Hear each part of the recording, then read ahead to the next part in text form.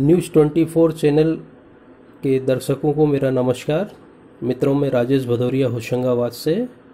जैसा कि आप सभी जानते हैं, पूरे विश्व में और भारत में कोरोना महामारी बहुत तेज़ी से फैल रही है। मध्य प्रदेश में भी इसका असर बहुत तेज़ी से देखने में आ रहा है। इससे निपटने के लिए माननीय प्रधानमंत्री जी और मुख्यमंत्री जी ने युद्ध स्तर पर प्रबंध किए हैं। और जनता से अपील की है कि सोशल डिस्टेंसिंग बनाए रखें, अपने घरों में रहें।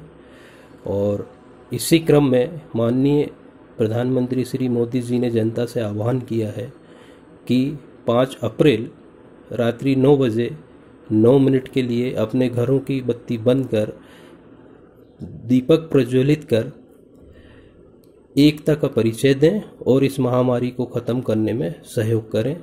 धन्यवाद। जय हिंद। जय भारत।